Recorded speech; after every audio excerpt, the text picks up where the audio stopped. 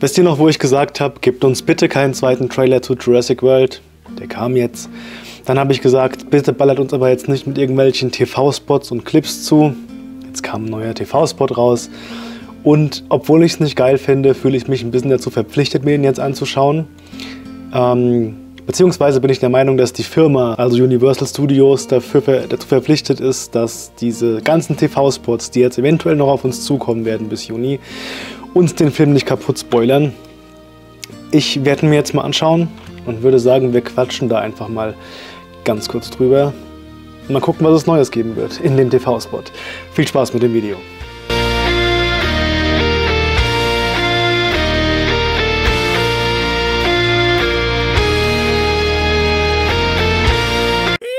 Wenn euch das Thema Kaiju interessiert, lasst einen Like da, abonniert den Kanal und aktiviert die Glocke. So, der Spot geht gerade mal 30 Sekunden und ähm, ja, noch ganz kurz was zum Trailer von, von, vom letzten Video, vom vorletzten Video. Da habt ihr mir jetzt auch geschrieben, dass in meiner Trailer-Reaction hätte im Trailer eine Szene gefehlt. Das habe ich auch mitbekommen.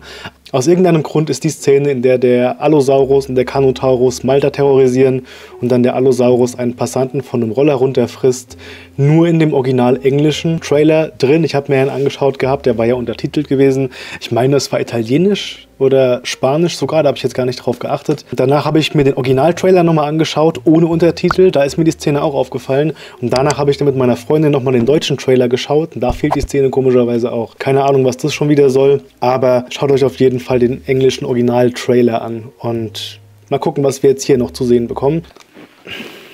Der Clip scheint auf jeden Fall auch in Malta zu starten. Und mal gucken. Wir fangen jetzt an.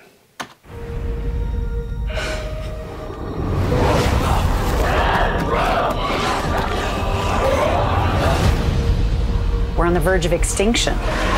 Humans and dinosaurs can't coexist. Okay, das wird wahrscheinlich auch eine der größten Szenen hier werden äh, im Film. Später. Da hätte die Szene wieder auftauchen sollen eben gerade. Und sie war wieder nicht drin. Gibt es den TV-Spot auch noch in einer anderen Sprache oder ist das jetzt einfach nur im asiatischen Raum? Nee, okay, gut, das scheint ein, ähm, ein japanischer Trailer zu sein, deswegen auch die Untertitel. Ja, was haben wir jetzt hier Neues gesehen? Es gibt zwei Sachen, auf die ich eingehen möchte. Eine Sache, die ich sehr cool finde, ist der, der ich habe den Namen wieder vergessen. Diese Raptor-Art hat einen bestimmten Namen. Es gibt drei verschiedene Raptor-Arten in dem Film. Einmal den Velociraptor, das sind Blue und das Baby. Dann den ähm, Pyro-Raptor, das ist das Vieh mit den Federn. Und dann gibt es diese Variante hier noch. Und ich finde gerade mal raus, wie die heißen. Sekunde. Sechseinhalb Stunden später. Da steht's. Das sind die. Oh Gott, deswegen kann ich mir den Namen auch nicht merken. Atrociraptor. Geht eigentlich. Atroci hört sich an wie Atrosiraptor. Ähm, auf jeden Fall die Atroci oder Atroci-Raptoren, das sind die, die wir jetzt eben hier in diesem Spot sehen. Ich werde sie einfach nur Raptor nennen, das ist jetzt leichter. Die scheinen Claire gezielt zu jagen in Malta. Ihr wisst ja schon, meine Theorie ist, dass man hier wirklich Saurier inzwischen in Waffen umfunktioniert hat, dass die auf Befehle hören. Das, was eben auch in Jurassic World 1 angesprochen wird, könnte jetzt hier wirklich wahr geworden sein. Und immer mehr von dem, was wir sehen, spricht auch für meine Theorie. Und ich glaube, das passt auch ganz gut hier dazu.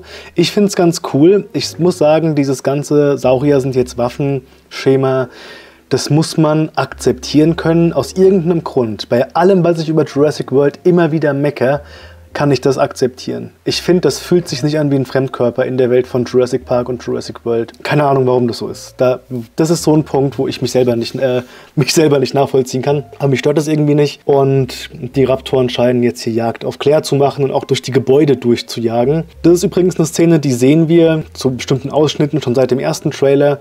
Und ich könnte mir vorstellen, dass das hier eine der größten Szenen im Film werden soll. Die Schauspielerin Bryce Dallas Howard, die eben Claire Deering spielt, hat gesagt, also die wurde in einem Interview gefragt, was wäre so die beste oder die, die actionreichste und, und epischste Szene im Film? Und da hat sie eben geantwortet, ja, ihr würden jetzt einfach auf Anhieb zehn Szenen einfallen. Ist natürlich eine Marketing-Aussage, aber inzwischen, ich könnte mir vorstellen, dass hier so einige epische Szenen gibt. Das wird eine sein. Ich glaube, die mit dem Flugsaurier wird nicht ohne der Giganotosaurus am Ende wird sehr wahrscheinlich ziemlich heftig werden. Der Pyroraptor wird noch eine große Szene. Da bin ich mir auch sicher. Und wir haben noch nichts vom T-Rex gesehen. Ey, ich schätze mal, dass der T-Rex nicht auch noch mit dem äh, Giganotosaurus auf die Fresse haut. Das heißt, der Film wird schon, wird schon sehr wahrscheinlich Schlag auf Schlag Action zu liefern haben. Was mir jetzt hier aber gar nicht gefällt, ich mag nicht, wenn man wenn man Figuren in Szenen, in eine Situation bringt, wo man sich dann wirklich denkt, okay, wie kommt die Figur jetzt da wieder raus aus der Situation? Mal als Beispiel in Jurassic Park 3 war das eigentlich ganz cool gelöst, als dann Alan Grant von den ganzen Raptoren umzingelt wurde und man hat sich gedacht, okay, das war's. Wie soll er jetzt da wieder rauskommen?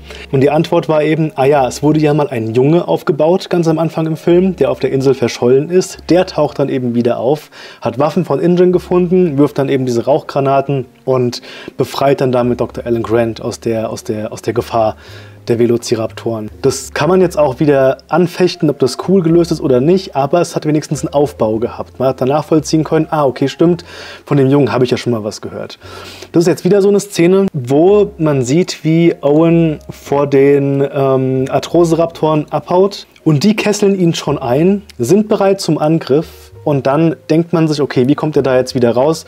Und die Lösung für diese Szene ist, weil der Raptor auf einem Stuhl ausrutscht. Ich mag sowas nicht. Ich habe auch das Gefühl, es gibt ähm, im Trailer noch eine andere Stelle, wo man sieht, wie der Allosaurus und der äh, Carnotaurus aus so einer Box rauslaufen und auch auf Owen zumarschieren und er wieder seine typische Raptor, stopp, ich zähme euch Pose macht. Ich kann mir gut vorstellen, dass diese Szene auch sehr doof gelöst wird, dass auf einmal irgendein Bus durch die Wand fährt und die Viecher wegrammt. Da fehlt mir so ein bisschen die Cleverness dahinter. Das hat mich eben gerade nur ein bisschen gestört und irgendwie hat mich das an diese ganzen, ähm, an diese ganzen Memes erinnert.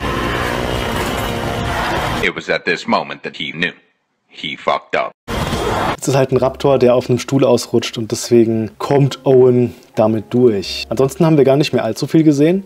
Ist cool, belasst das so. Ja, hört jetzt ja auf, uns immer wieder ein paar Sachen dann zu zeigen, die wir eigentlich gar nicht sehen brauchen.